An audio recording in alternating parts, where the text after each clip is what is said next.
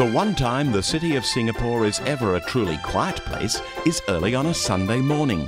No traffic, no construction noise, no handphones, just empty streets and the beauty of a rare tranquility. It's not a sight many of us see because we're all still tucked up in bed. Not me.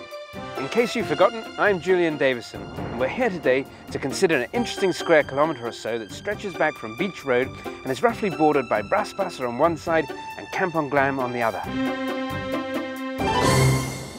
It's an area that I feel, historically speaking, is too often overlooked. And right across the road is a familiar landmark. Our starting point for a stroll through one of modern Singapore's earliest areas of settlement. This could well have been the view in 1819 from where Raffles Hotel now stands, when Stamford Raffles was planning the layout of the settlement, which he'd acquired on behalf of the British East India Company. The road along the coast had been called, rather predictably, Beach Road, for the simple reason that it ran along what was the beachfront at the time. Obviously, Raffles hadn't done his homework properly when he designated Beach Road as the place where ships would offload their cargo. The sea was too shallow and often too rough for such a tricky undertaking. Cargo handling was shifted towards the mouth of the Singapore River, and this proved to be a far more practical location.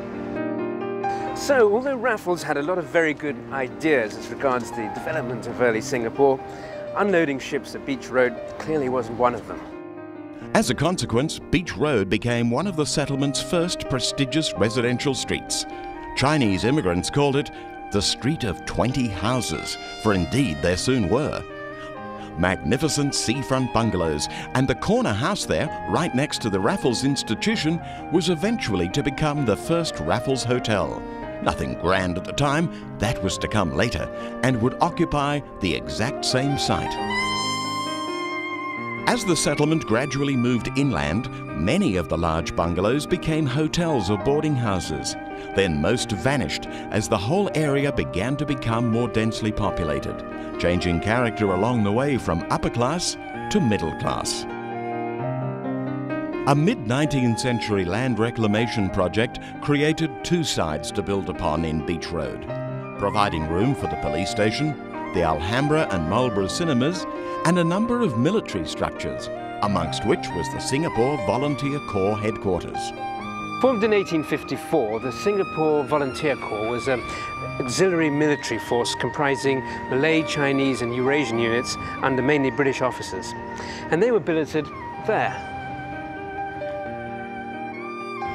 It was disbanded in 1922 and the units were absorbed into the newly created Straits Settlements Volunteer Force. Fifteen years later, they were provided with a much more impressive home. It has survived war and occupation, but it may not survive the peace. Admittedly, it has, for well over half a century, but it sits upon a prime and valuable strip of real estate, and it's been unoccupied for many years.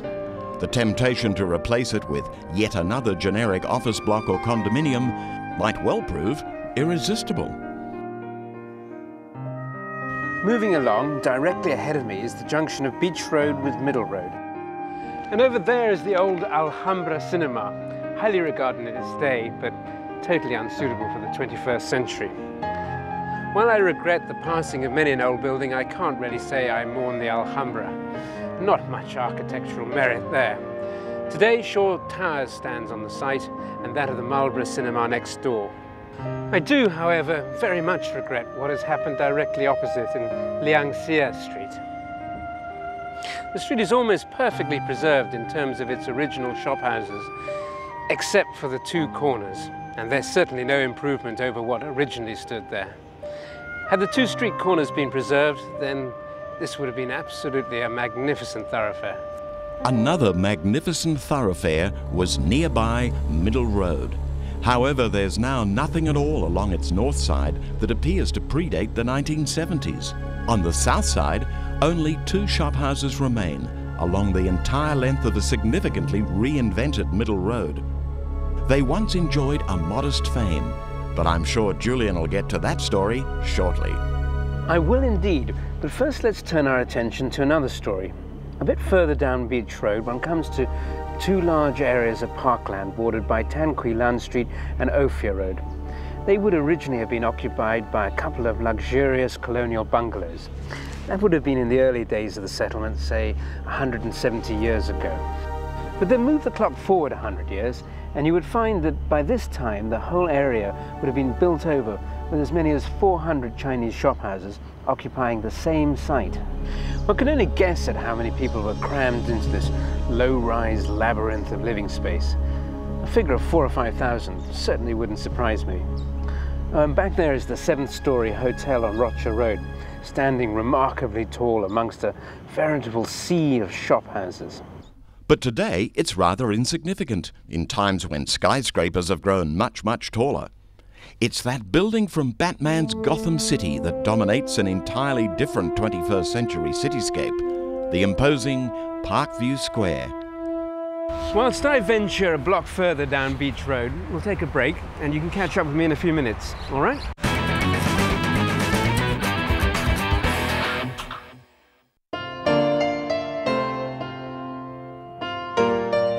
Well, I must confess we've strayed a bit beyond this week's area of investigation and I've crossed the boundary into Kampong Glam, but I just wanted to check out whether another location had survived the march of time. And it has, the St. John's Ambulance Building. But hang on a minute. One, two, three. Seems to have grown a bit. Clearly that's another story. Ah, yes, just as I suspected. A little bit shorter back then, but otherwise pretty much as I remember it. Clearly St. John must have had a hand in protecting this austere but pleasant little building.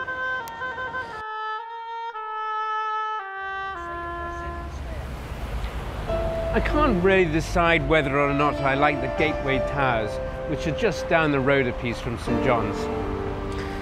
Certainly the knife-edge corners are pretty impressive, but the stripy effect, a bit like Legoland. Whatever, they're a great improvement on what previously stood on the corner site.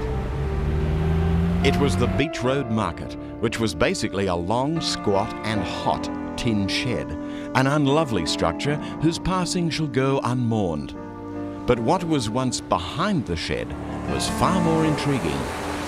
After the first mid-19th century land reclamation, the sea once lapped up against the rear of the market, and long before even the market was built, there was a set of stone steps that led down to the water at high tide.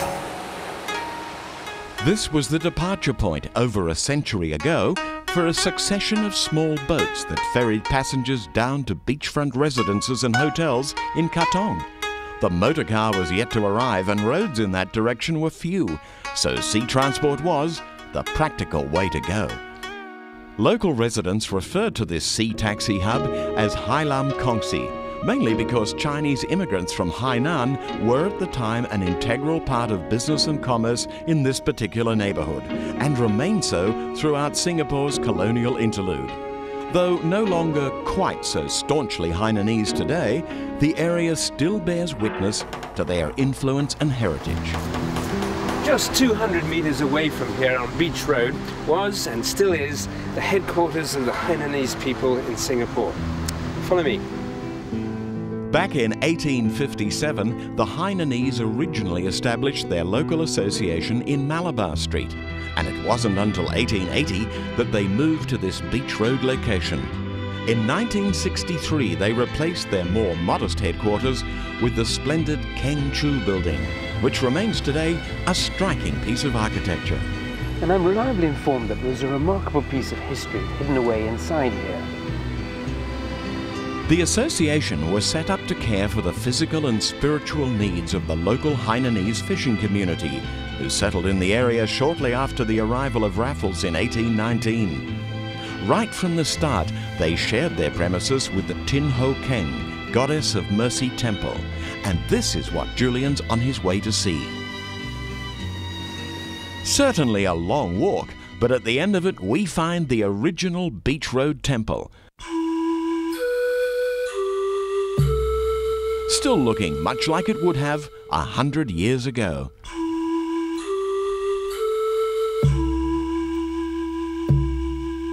At the rear of today's building still stands the original temple structure, and it was an admirable idea to retain it.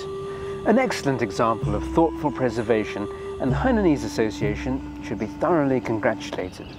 Well done indeed.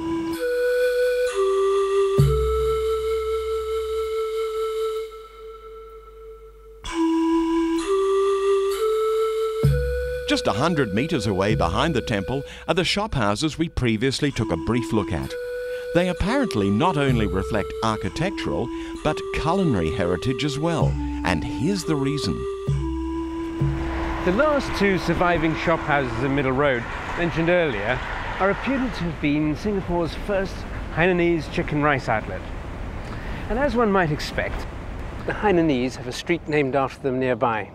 And here it is, Hylam Street.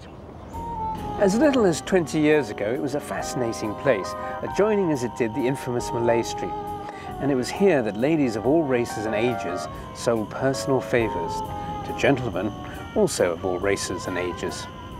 The streets are still there in a manner of speaking, but what's on sale today has changed considerably. Both streets were incorporated into the Bugis Junction shopping complex, when the place opened in 1996, they were heralded as Singapore's first air-conditioned streets. A fairly startling concept, but at least we didn't lose them in their entirety. But whereas the street plan might have been loosely maintained, the shop houses lining Bugis, Hailam, Malay and Malabar streets were not. Admittedly, what replaced them was a sincere and practical attempt to recreate the past. However, the fact is, not a single brick remains of what once originally occupied this entire historical city block. It's rather a pity that just a couple of the original buildings couldn't have been incorporated into this attractive complex to provide future generations with a sense of historical continuity. But perhaps prevailing wisdom was that what went on here was best forgotten. Admittedly, the old Bugis Street may not have been everybody's cup of tea, but I personally have rather good memories of that nefarious location. It was uh, August 1978 and the American Navy was in town. The aircraft carrier USS Enterprise, no less. And you may not know this, but the American Navy is actually a dry fleet, which is to say not a drop of alcohol is allowed on their ships. Well, you can imagine what happens when thirsty American sailors get into town. They make a beeline for Bugis Street, or Boogie Street as they like to call it. And of course the whole world was there to meet them. Every hustler, every conman, every good time girl, and a lot of girls who, quite frankly, weren't girls at all. They just wanted to meet those thirsty American sailors. And of course, an awful lot of liquid refreshment went down their throats, and I'm not talking orange juice. Anyway, I have to say, it was probably one of the best parties I've ever been to, like something out of a movie. And it went on all night, no, I'm afraid today's Bugis Street is but a pale reflection. You should have been there. Perhaps you were.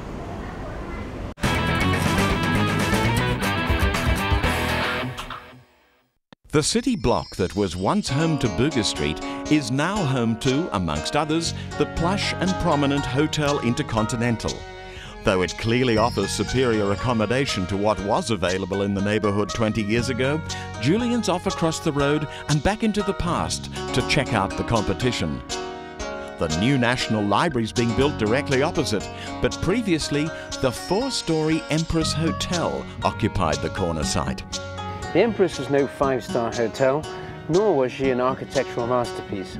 So like 95% of the rest of Middle Road, she was demolished and forgotten.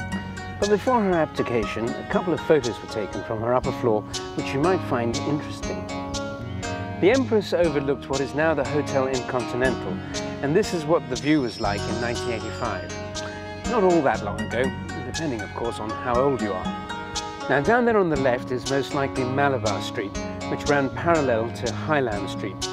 And if we go a little further across, we can see Northbridge Road, and already there's a large and unsightly concrete box that's gobbled up a dozen shop houses. The first of many large and unsightly concrete boxes, I'm afraid. Take a closer look at the corner of Northbridge Road and Middle Road and say goodbye to the Mun Dispensary. Now you see it, now you don't. Yet another large concrete and glass box has swallowed it up. Although Bugis Street had effectively ceased to exist, an attempt was made to preserve its spirit across the road.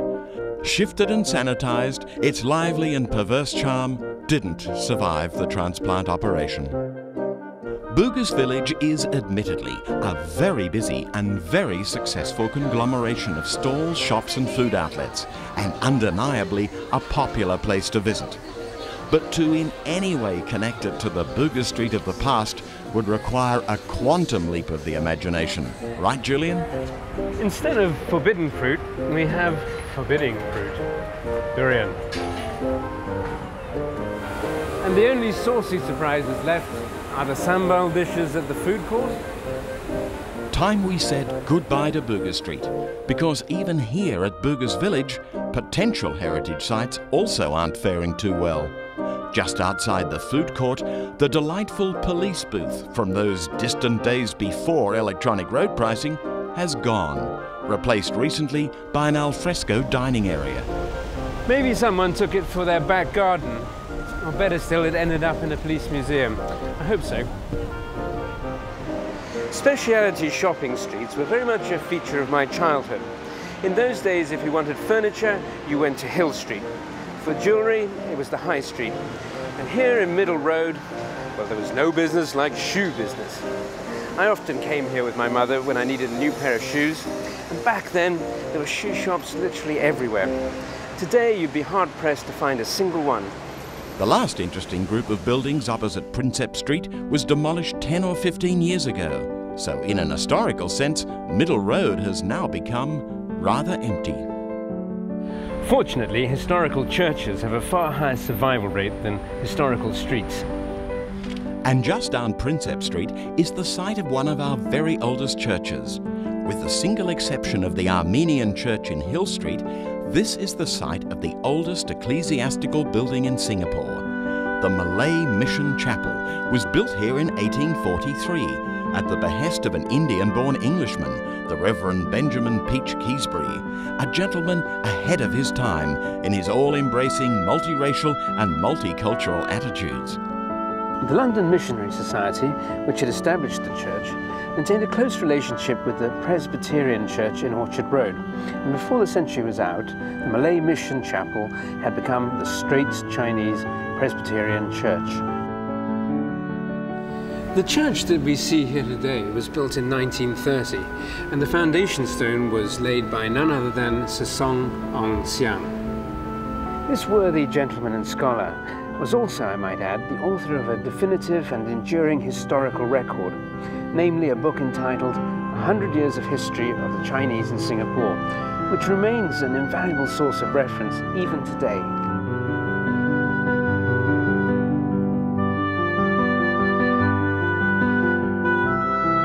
Directly alongside the Presbyterian Church is a pre-war housing estate, and I suspect that Julian's not going to be entirely happy with what's going on here. The tenants have moved out and the demolition teams are about to move in. They're already hard at work next door. Well, that's a great shame because these are a really wonderful example of early modernist architecture. They were probably built by the uh, SIT, that's the Singapore Improvement Trust, just after the Second World War. And they're actually quite like the flats down at Tiong Bahru. But that doesn't mean to say that we can afford to do away with them. We really shouldn't keep on whittling away at our architectural heritage until we only have one representative example of everything left. I know we've got Empress Place and the Houses of Parliament, St Joseph's, that's fantastic, great. I really approve of all that. But imagine if you went to London and there was only Buckingham Palace, the Houses of Parliament and Westminster Abbey. It'd be a little strange, wouldn't it?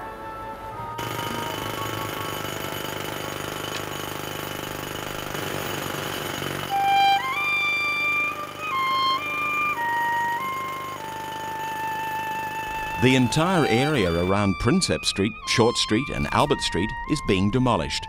However, it must be admitted that with the exception of the SIT estate, this was never a particularly attractive neighbourhood.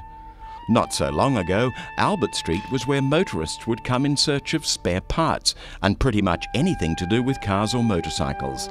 The dealers have long been dispersed, and the shops and buildings stand silent, shuttered, and empty.